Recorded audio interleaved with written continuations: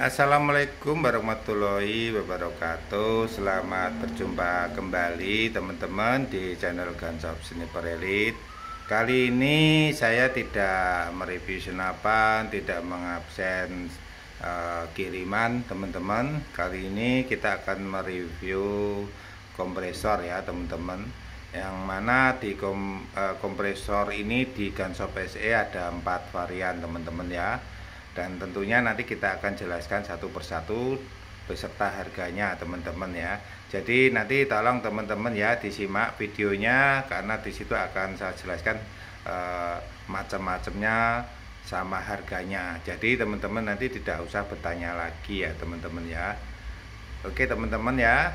E, untuk yang pertama ini yang sebelah kiri sendiri itu kompresor otomatis stop digital ya. Mari kita lihat dari dekat ya teman-teman ya. Nah untuk penampilan fisiknya seperti ini ya teman-teman ya. Ini indikasi oli ya.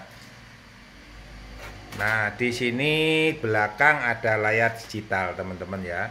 Layar digital ini ada plus ada min tengahnya on off. Plus ini untuk menambahkan pressure min untuk mengurangi pressure ya teman-teman. Nanti di sini akan tertara hitungan pakai bar teman-teman ya.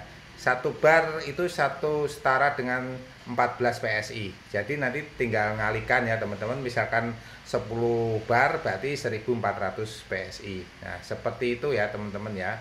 Gitu ya. Satu bar 14 PSI ya. 10 bar nanti tinggal ngalikan 100 bar tinggal ngalikan itu ya teman-teman ya Oke ya, teman-teman untuk uh, nanti kalau sudah tercapai uh, pressure yang diinginkan ini akan mati sendiri teman-teman ya, karena ini otomatis di uh, stop digital teman-teman ya. Untuk harga yang otomatis digital stop ini 3.850 teman-teman ya. Ini harga untuk uh, user ya. Dan untuk uh, seller seller tentunya uh, harga ada sendiri ya teman-teman karena seller itu belinya mungkin di atas tiga ya teman-teman. Jadi kita uh, harganya beda dengan user teman-teman. Oke ya ini yang kedua. Yang kedua itu otomatis putaran ya otomatis stop putaran jadi ini untuk indikasinya pakai putaran jadi teman-teman nanti kalau mau apa itu memompa pressure yang diinginkan ini tinggal diputar misalkan 2000 jarum diarahkan 2000 ya nanti setelah ini langsung di on ya di on. Terus dia akan jalan sendiri. Nah nanti kalau sudah mencapai pressure yang diinginkan 2000 maka mesin ini akan mati sendiri ya teman-teman ya. Oke teman-teman ya. Untuk harganya yang otomatis digital uh, sorry otomatis putaran ini harganya 2 3.550 ya teman-teman ya selisih 300 ya sama ini teman-teman Nah, kita beralih ke yang manual. Kalau yang manual seperti ini teman-teman ya. Nah, in, kalau yang manual kalau ini sudah dicolokkan ke senapan PCP dari teman-teman, langsung di-on-kan. Nah, nanti kita harus memantau ini ya teman-teman jarum ini ya. Misalkan kita menginginkan pressure 2500, maka jarum ini akan ber, berjalan secara berlahan teman-teman ya mungkin hanya membutuhkan waktu 2 menit ini untuk mencapai 2500 kalau kompresor yang ini teman-teman. Nah ini ya nanti akan jalan pelan-pelan. Begitu nyampe 2500 langsung ini di kan ya teman-teman ya nah jadi harus dipantau ya teman-teman. Beda sama yang otomatis ya teman-teman. Dan sebelumnya nanti juga pastikan ini untuk uh, air pendingin ya. Ini di uploadan saya sebelumnya sudah ada ya untuk tutorial dan banyak juga uh, tutorial tutorial operasional untuk kompresor ini di YouTube YouTube lainnya ya teman-teman. Nanti teman-teman silahkan browsing. Oke nanti gini kalau teman-teman mengeluh le ini listrik saya nggak ada 1800 oke jangan khawatir teman-teman. Di sini kita sudah mendatangkan yang 350 watt ya.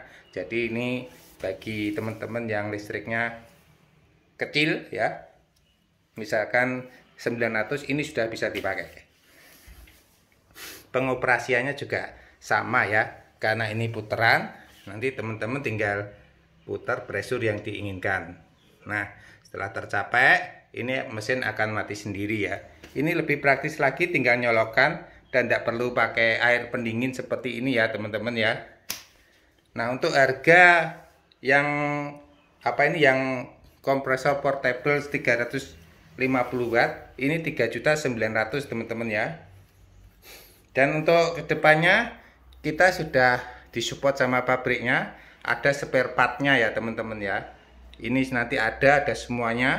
Jadi teman-teman nanti kalau membeli silahkan sama cadangan spare part. Mungkin harganya 100.000 ya untuk satu spare part teman-teman. Jadi teman-teman nanti kalau ada problem nanti tinggal ganti aja. Karena spare partnya sudah uh, ada ya teman-teman ya. Dan memang kalau kita beli yang kita pikirkan adalah cadang. Suku cadang ya apabila ada kerusakan maka ini kita sudah disupport sama pabrik ya untuk uh, suku cadangnya teman-teman.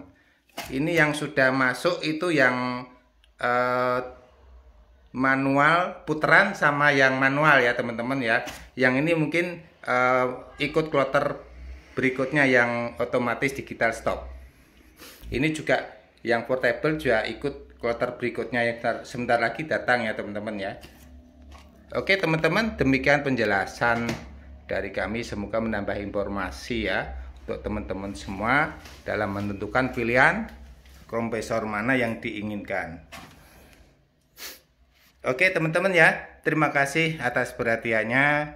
Saya ucapkan selamat pagi. Assalamualaikum warahmatullahi wabarakatuh.